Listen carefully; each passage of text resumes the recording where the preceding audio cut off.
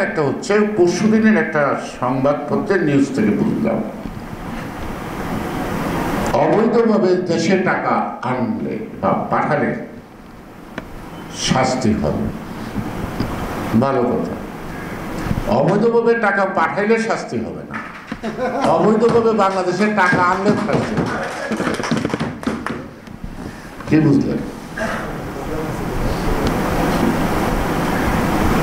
যাই হোক যেমন আপনি ভারতে যদি যান ব্যাগ ভর্তি যদি আনেন, ওই আপনাকে ইন্ডিয়ান কাস্টম কিন্তু আটকাবে কিন্তু আপনি যখন ভারতে প্রবেশ করবেন আপনার ঘড়িটা, আপনার ওইটা, এটা লিখে রাখে।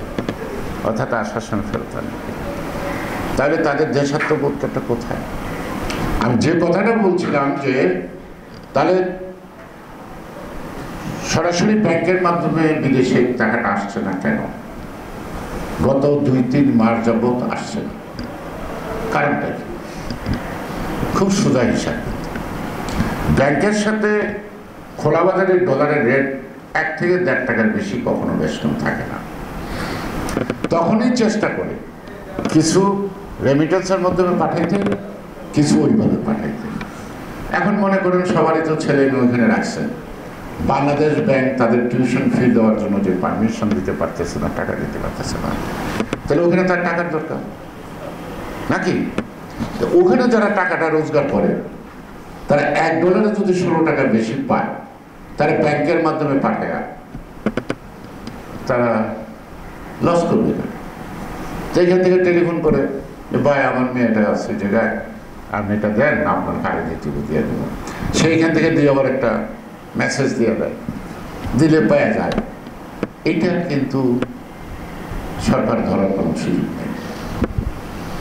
কোনো সুযোগ নাই। তা এখন এই মানুষগুলো কেন এইভাবে টাকাটা পাঠাচ্ছে, এটা তো সরকারকে বুঝতে হবে। বুঝতে হবে না? তো সে কারণেই আজকে হয়তো কেউ কেউ বলছেন, গেলে তার কি হবে? আশঙ্কা তো আছে থাকতেই পারে। কারণ যে যে কাজে অভ্যস্ত, ভবিষ্যতে তো সেই আশঙ্কা তার করতেই দিতে পারে। যারা গুম করছে, খুন করছে, যারা অকারণে মানুষকে অত্যাচার, নির্যাতন করছে। আমার বিরুদ্ধে বেশি মামলা নাই, মাত্র ছেষট্টিটা আপাতত আছে। ওইটা যখন চার্জশিট হবে, এটা ছেষট্টিটা তিন দিয়েও পূরণ হইতে পারে। আবার দুই দিয়েও হইতে পারে। কেন? এখানে চার্জশিটেরও একটা কৌশল আছে। অনেকগুলোই ধারা দেয়। প্রতি ধারায় যদি একটা করে চার্জশিট দেয়। সুতরাং আপনি এইটা ভাগ করেন। বিস্ফোরকের ধারা, নাকি? তারপরে যে লাঠির সুতা নিয়া, এটা একটা ধারা। পুলিশের কাজের আরেকটা ধারা। অর্থাৎ আকাশে যত তারা, পুলিশের তার চেয়ে অনেক অনেক বেশি ধারা এই ফায়ারিং করার ক্ষেত্রে।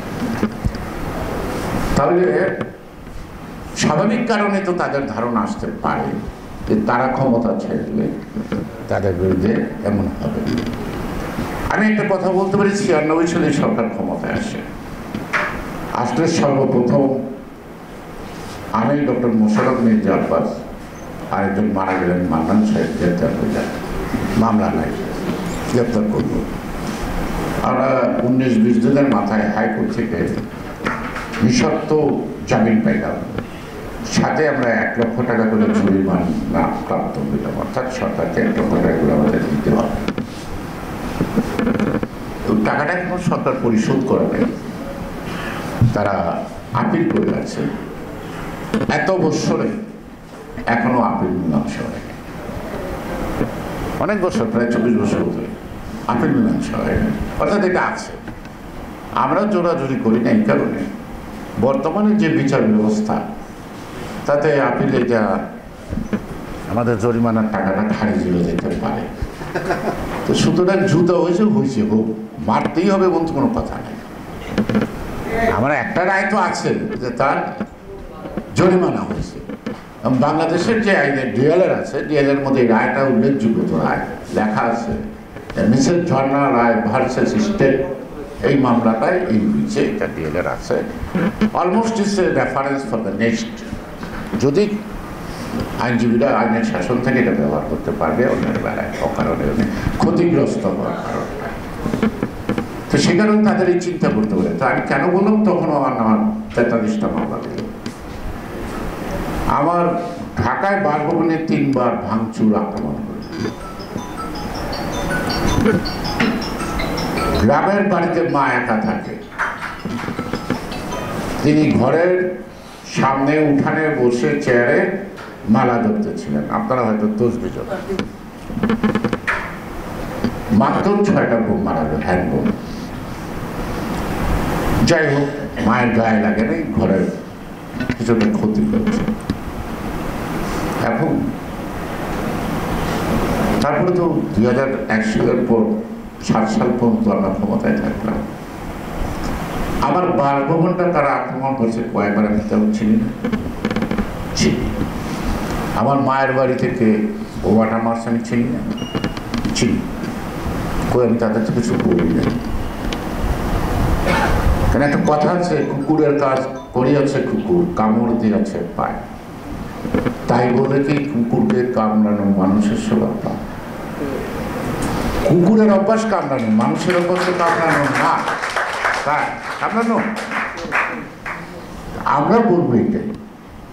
তারা কুকুরের মতো আমাদের অনেক কামড় দিয়েছে। মানুষ হিসেবে আমরা কুকুরের গায়ে কামড় দেব না। তো একটা কথা আছে যদি রাষ্ট্রীয় পৃষ্ঠপোষকতা কেউ খুন হয়ে থাকে। তার জবাব তো দিতে হবে না নাকি? না, এতটা উদার হইতে পারে। এটা পারা যায়। একটা খুনকে আল্লাহ মাফ করতে পারে না। পারে? পারে না। সুতরাং এটা তো বিচার হইতেই পারে। তা এই যে মাঠে ঘাটে গল্প, এত টাকার মালিক। এত টাকা এখানে, এত প্রাসাদ এখানে, ওখানে ওখানে। এখানে তো রাষ্ট্র জানতেই যেতে পারে, আপনি এত টাকার মালিক হলেন তার উৎস জানতে পারে না? সেই কি সেই ব্যাপারে কি আমরা কারণে খাতির করতে পারব?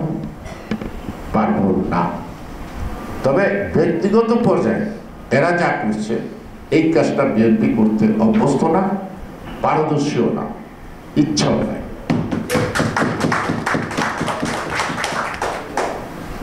সে কারণে আজকে কিছু কিছু মন্ত্রী আছে, বেশি না, দুই চারটা আছে। প্রতিদিন কথা বলে।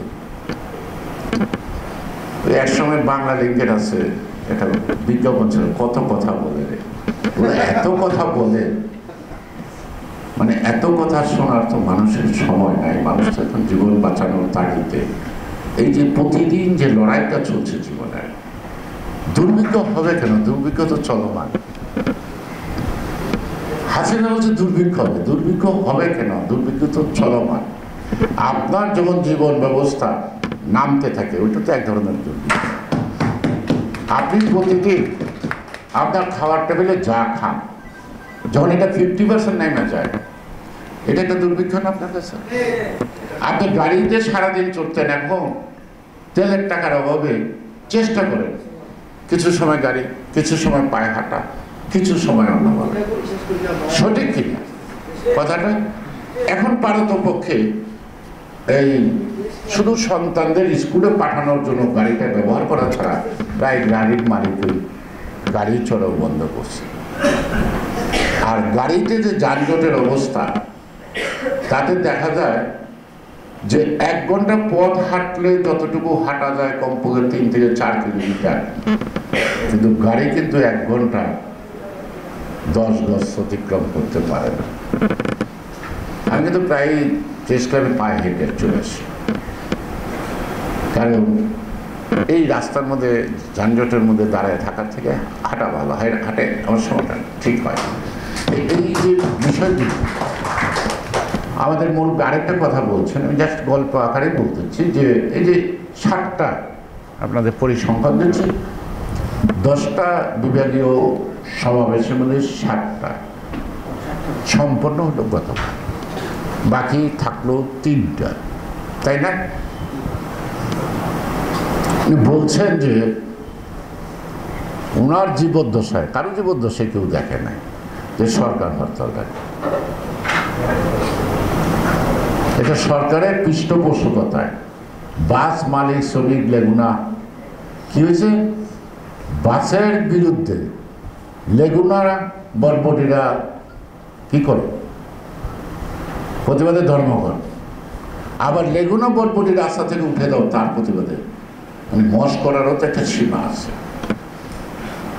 এই ধরনের মস্করা মানুষ বুঝে না। বুঝে কি সবাই বিএনপি করে না কিন্তু মস্করা গুলি তো বুঝে। এই দেখেন সুনামগঞ্জ থেকে রওনা দিল দুই হাজার হন্ডা নিয়ে। যখন সিলেট পৌঁছল, অর্থাৎ সুনমা নদীর পাড়ে আসলো, তখন এটা সংখ্যা গেল ছয় হাজার। অর্থাৎ যতই আসছে ডাইনে বাইরে এরাও আবার এটা পিছিয়ে পিছিয়ে ছুটছে।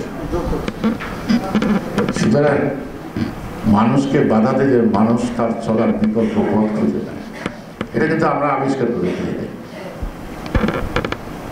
আর আমাদের সমাবেশ ছিল একদিনে। হয়তো দুইটায়, টাইমটা। না হয় বারোটায় মাঠটা বলব। নাহলে একটাই বলব বা দশটাই বলব নাকি?